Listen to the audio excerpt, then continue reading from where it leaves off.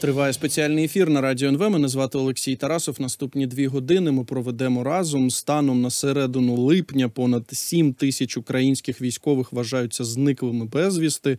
А частина цих зниклих це військові медики, яких окупанти фактично викрали та вивезли в невідомому напрямку. Серед викрадених і зниклих українців щонайменше 50 медиків військового шпиталю номер 555 у Маріуполі.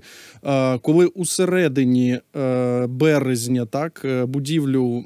Шпиталю було знищено. Вони разом з пораненими переховувалися на металургійному комбінаті імені Ілліча. Ну і от після того, як е, росіяни захопили Маріуполь, відомо про те, що ну цих медиків е, викрали, що вони були стали полоненими, але ми не знаємо, де саме вони перебувають. Їхні родичі продовжують шукати е, цих медиків. От зараз ми саме поговоримо е, з Андрієм Кривцовим. Він шукає свою 27-річну невістку Олену Кривцову. Вона працювала ординатором у саме цьому цьому шпиталі номер 555 у Маріуполі. Андрій зараз з нами на зв'язку. Добрий день, чи чуєте нас? Доброго дня, дуже гарно вас чую. Дякую, що приєдналися до ефіру. Тож, от е, е, яким чином зараз родичі отримують інформацію про полонених, про зниклих? От е, яка інформація є станом на сьогодні? Ну, на жаль, тобто в нас дуже дуже шкутильгають комунікації з усіма нашими організаціями, які а, займаються полоненими. Тобто, якщо починати з самого початку, а коли людина потрапляє до полону, є така інструкція про облік військовослужбовців. В той же день командир частини має надати рапорта до свого командування, що людина потрапила до полону. Після цього передати інформацію до військомату. Ну зараз вони там називаються територіальні центри комплектування. Ну будемо так коротше. І у термін у сім діб військомат має сповістити родину людини, що їх близька людина потрапила до полону. Це ну, люди, про яких ви казали, які потрапили у полон з заводу Ілліча, Це було 12 квітня. Станом на сьогодні е, є люди, які не отримали досі офіційного документу, що близька їм людина знаходиться у полоні. Тобто чотири місяці поспіль не можуть отримати таку посвідку. А від чого це залежить? Я, я на жаль, не можу вам сказати, від чого це залежить. А, Ну чому деякі скажімо так, посадовці не виконують своїх е, обов'язків, не можу сказати. Я знаю, що десь місяць тому назад е, міністр оборони України е, зробив окреме доручення по військовим генералам, щоб вони проконтролювали це питання щодо, по перше, надання цих довідок щодо оформлення грошового забезпечення сім'ям щодо відкриття карних справ щодо потрапляння до полон наших військових було ну було дуже багато скарг цього приводу. Ну от я читав розповіді родичів, так інших. і Вони говорили про те, що ну я мені здається, що і також е, і вашу розповідь також читав, що е, вони зверталися і в Національне інформаційне бюро, і в СБУ, і в поліцію. А от е, що там відповідають? Е, яка відповідь? Ну мають же вони надати якусь офіційну відповідь щодо українців, які ну зникли і вважаються зниклими безвісти? А ну дивіться, у нас є а, дві такі сторони. Тобто, по-перше, ми усі, як родичі, ну як нам вказують у координаційних центрах, маємо самі чомусь звертатися до усіх цих установ і розповідати їм, що наші близькі потрапили до полону. Ну я розумію, що це можливо з цивільними людьми, але з військовослужбовцями для мене це було дико, але ми маємо чомусь е, розповідати СБУ, ГУР, е, командуванню збройних сил України, що їх підлеглі потрапили до полон. Тобто вони вони це е, дізнаються не від своїх там командирів, а чомусь від нас. А коли ми туди дзвонимо, ми розповідаємо, ну, наприклад, до Нібу, що в нас є така особа, яка потрапила до полон. Вони це записують. Все Далі вони там щось роблять. Якщо звертатися з офіційною заявою, можуть інколи надати. Ну, наприклад, якщо брати по Олені, тобто по моїй невістці, там була ну чому взагалі ми зібралися, чому почався все цей розголос і так далі. Тобто, ви все правильно квітня... робите. Ви все правильно робите. Ми сподіваємося, що зможемо вам також цим допомогти. Так, так, вибачте. Так, 12 квітня вона потрапляє у полон. Це ми дізнаємося від людини. Одному з полонених е, медиків е, росіяни дали подзвонити додому і сказати, щоб він розповів, що вони захопили шпиталь і планують обмінювати їх на російських солдат. Тобто люди вже вже вже почали розповідати, як вони будуть е, плювати на міжнародні закони, тобто ну, медики є некомбатантами. Так от далі ми чекали, чекали, чекали, але жодного жодної звістки нам нічого ніхто не сказав. 22 квітня я почав дзвонити по різним інстанціям. Так, от після всіх цих звернень, там наприкінці квітня, вже письмово почали писати. Матері Олени направили від СБУ е, відповідь, що станом на 17 травня, тобто це вже більше місяця. В них на жаль немає інформації щодо місця знаходження Олени Кривцової. Ну, тобто... Я зрозумів, що ви змогли прослідкувати такий шлях, який Олена е, пройшла, я так розумію. Чи можете ви про це розповісти? От як ви дізналися, і ну от чи ви розумієте, де Олена? А, Дуже просто. Ну так як е, не лише Олена, а ну е, розумієте, як родини військових вони у тісному контакті між собою. І я е, знайшов е, дівчину, яку обміняли 6 травня. 28 е, квітня та 6 травня були обміни. До них потрапили е, дівчата, і ось ця дівчина розповіла мені. Вона була з нею теж е, у шпиталі працювала. Що е, вона її бачила, і вона розповіла весь цей шлях. Тобто, як їх захопили на заводі Ілліча, як вони потрапили до е, селища міського типу Сартана, як вони там були, як з ними поводилися. Далі вони потрапили до е, славнозвісної Оленівці, і після цього дівчат вивезли до міста Таганрог. От станом на 6 травня, коли їх обміняли, я знав, що Олена та там ще деякі дівчата з е, шпиталю знаходяться у СІЗО міста Таганрог.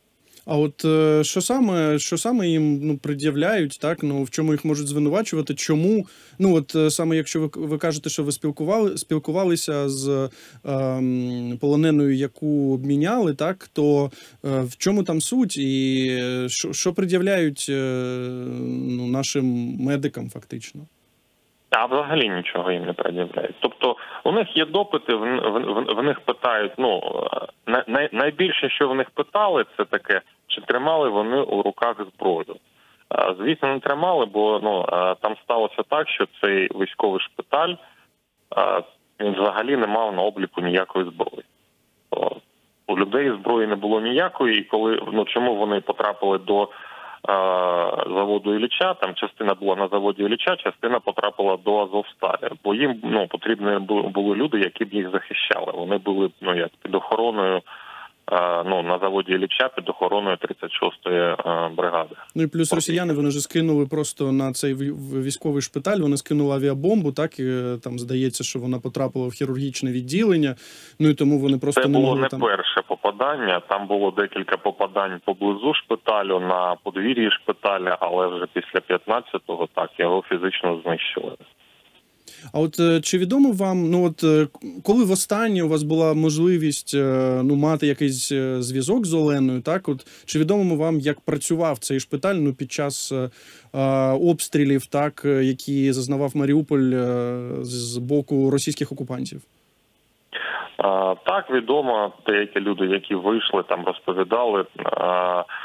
Дивіться, з 1 травня до 15-го шпиталь працював, ну можна сказати так, у нормальному режимі, але дуже багато поранених було. Вони координували, е, були відряджені від е, шпиталю. Ви, мабуть, маєте на увазі березня, березня. Ви ви, ви, ви сказали травня, да, березня, березня, березня, березня. Були відправлені е, у відрядження до інших лікарень міста лікарі, які керували цим всім, бо ну цивільні лікарі не завжди е, могли з цим справитися, бо ну це не дуже звична ситуація для них. Тобто до 15 березня була ось така ситуація. Вони працювали, працювали у ударному режимі. А після цього, після того як знищено було шпиталь, їх розподілили на дві групи. Частина пішла до Азовсталі, частина пішла до заводу Ілліча. І Зрозуміло. там вже вони проводили проводили там всі операції. Ну і на Азовсталі до, до доки не надійшов приказ, а на Ілліча до 12-го, коли вже у Морпіхів скінчилося все, і там теж було дуже ну більше більше 500 поранених, і для того, щоб врятувати життя людям, ну зробили те ж саме, що було на Азовсталі. Ну, тобто, так, е, вийшли з Ілліча. А хто саме затримував е, наших медиків? Ну, тобто, хто були ці люди? Ну, е, ви ж знаєте, там є різні, як це сказати, прошарки. Так, то буває, бувають так так звані ДНРівці, бувають саме російські військові, бувають кадирівці. От це, чи відомо вам щось про це? Це були російські військові. Більше того, там був дуже такий цікавий момент, коли вони їх захоплювали. Ну ви ж розумієте, тобто, це це є ну домовленість є на вихід, коли люди виходять. Тому то, коли були всі ці домовленості, була домовленість з російськими військовими, що вони відпустять жінок. Протягом доби їм дадуть зелений коридор, і вони вийдуть звідти. Але звісно, після того як вони всіх їх захопили, про ніякі домовленості далі не було і речі. А от е, ну ми зараз про цю страшну Оленівку багато говоримо так в наших ефірах. Ну зрозуміло, що контекст е, такий, що росіяни вони вбили наших військовополонених українських. Е, що ви знаєте про те, що відбувалося з медиками саме в Оленівці? Які ну які там були умови саме для них? Медики в Оленівці залишалися на той час більше чоловіків. Ну я так розумію, що жінок від звідти виводили, ну скажімо так, від гріха подальше. Бо ну жінки це жінки, і що там можуть зробити люди, які не зовсім адекватні, бо е, вивели їх до, до Росії. і Там вже е, жінками займалися інші жінки, е, офіцери. Ну я так розумію, що це УФСІН російський, тобто, ну щоб забезпечити ну якусь е, охорону для них нормально. А чоловіків залишили у Оленівці. Вони там працювали ну з тим, що в них було з медикаментів, е, з тим таким скудним. Вони рятували життя, вони проводили операції. Є навіть е, на російському якомусь каналі. Його публікували це відео у телеграм-каналі Рідовка. Здається, 6 червня показували навіть як наші хлопці з е, шпиталю вони оглядали поранених, туди ж і з Азовсталі доправили людей. Е, ну вони працювали. Ну і зараз працюють медиками. А за останні ну за останній тиждень, тобто після того, що сталося в Оленівці, е, на жаль. Повної інформації немає. Є інформація, що медики вижили, тобто постраждалих серед медиків немає. Але а, зараз там є ну чутки про те, що взагалі людей вивозять з Оленівці. Це на жаль, ну немає ніякого підтвердження, що там зараз. Ну от станом на травень, так ви казали, що ви спілкувалися з медиком, яку звільнили, обміняли так, що вона перебувала разом з вашою невісткою Оленою Кривцовою в СІЗО Таганрогу. От станом на травень, що відомо про Олену, у яких вона умовах, ну хоча б була. Ну, спочатку умови були дуже погані, особливо в Сартані та в Оленівці. Тобто там і мало їжі, і в Сартані вони взагалі були в ангарі збитими шибками. Тобто на на, на бетонній підлозі ночували в, в Оленівці. Там інколи по ночами включали музику, щоб вони не могли спати. Кормили їх, годували з посуду, який ну з цього посуду до них явно хтось їв, тобто там щось покидали їм, бурду якусь дали поїсти, потім наступному дали поїсти. А далі, вже коли їх вивели, тобто ніякої там гігієни, нічого взагалі. Далі, коли вже вивезли в СІЗО, там а, в них взяли, до речі, проби ДНК, взяли проби волосся, нігтів, відбитки пальців. Тобто у російської сторони є повна повна картина по нашим полоненим. Тобто вони мають про них все. А там вже було де, ну, дещо легше, тобто там раз на тиждень їх водили до душу. А, Якщо брати, наприклад, ту ж Оленівку, там їх було 13 у двомісній камері. Тут вже, тобто, ну спали вони там по черзі. Тут вже для кожного є своє ліжко, але а, режим дня там е, підйом о 6, відбій о 22, а, лежати на кроватях е, на ліжках не можна. Тобто, ну весь день вони на ногах. Постійний моральний пресинг, ну бити їх не били але морально постійно давили там, звинувачували їх, тому що їх країна їх покинула, вони нікому не потрібні. Там заставляли вчити гімну Росії, співати його там, пояснювати, що там значить на їх стягу, що там на прапорі, ну і так далі. Тобто таке.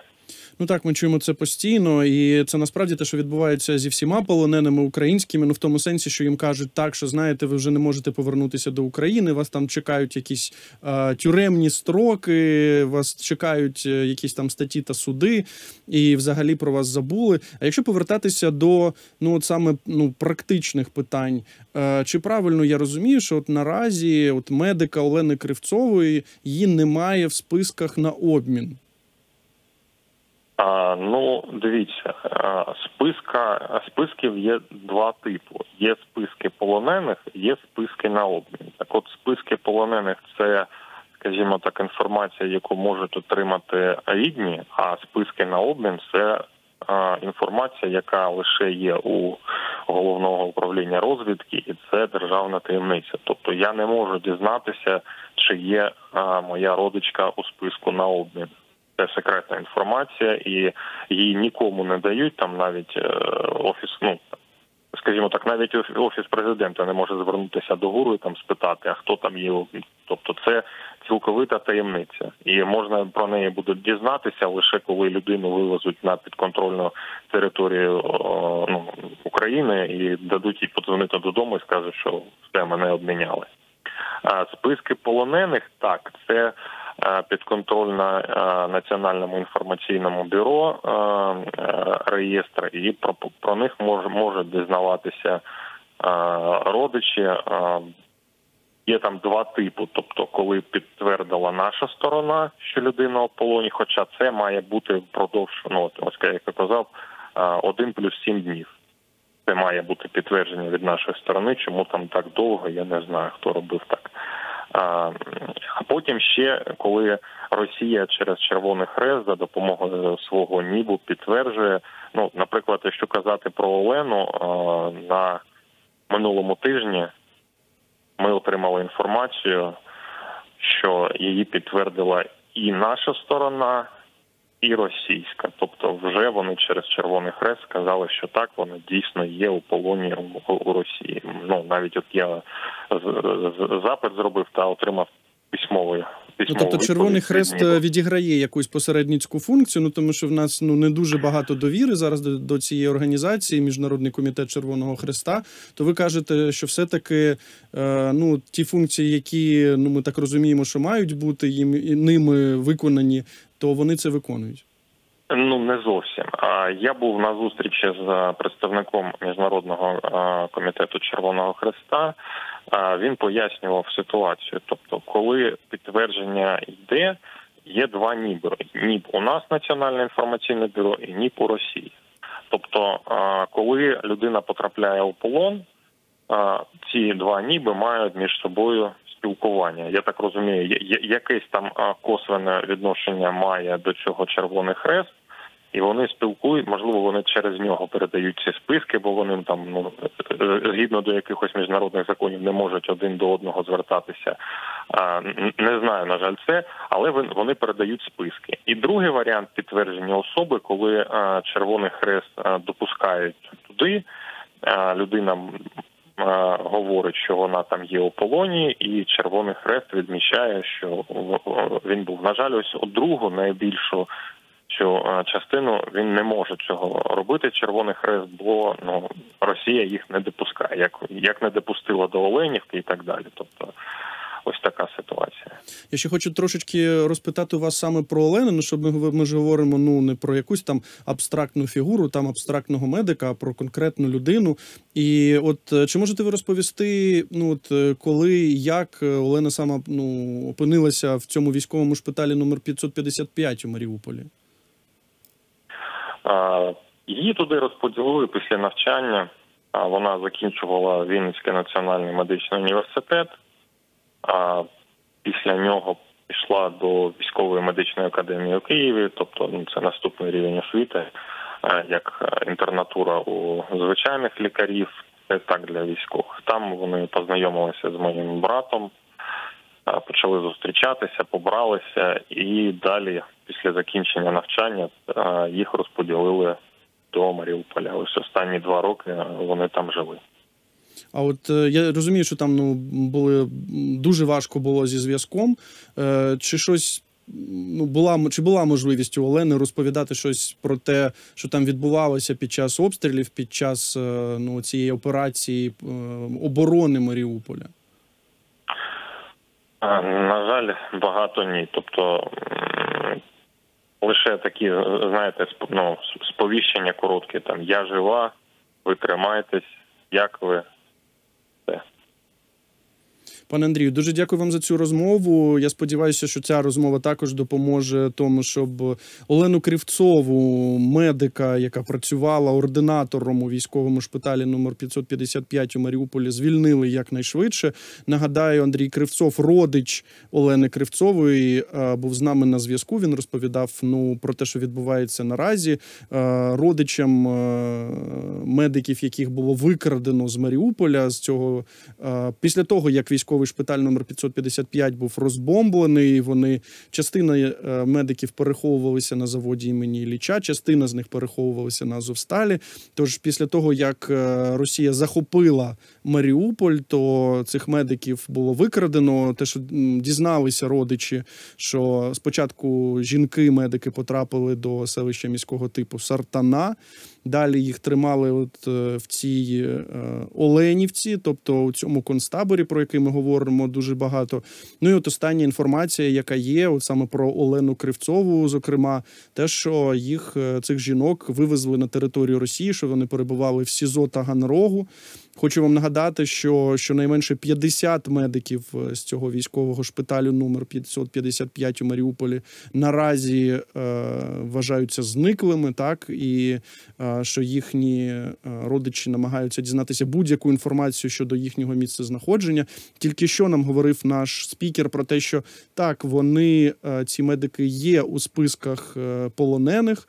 Але наразі ну зрозуміло, що це є е, секретною е, інформацією щодо того, чи вони є у списках на обмін. Тут також е, хочу вам нагадати, що вже скільки два місяці тому, три місяці тому, мені здається, три місяці тому підпорядкували саме обмін полоненими українськими, підпорядкували головному управлінню розвідки. До того цим займалася міністерка з реінтеграції Ірина Верещук. Що ж, ми будемо слідкувати за цією темою. Це дуже важливо, щоб всі українські полонені були звільнені, щоб всі українські полонені трималися у гідних умовах. Тут також треба зазначити, що насправді медики не є, не можуть бути військовополоненими, тому що вони ніколи не тримали зброю. Вони займалися саме тим, що допомагали пораненим. Тож е, це також суперечить е, багатьом конвенціям. Ну, ми бачимо, що Росія не дотримується цих конвенцій. Далі ми зробимо невеличку паузу, і після неї будуть новини. А потім я повернусь до цієї студії. Підписуйся на канал Радіо НВ. Ось тут.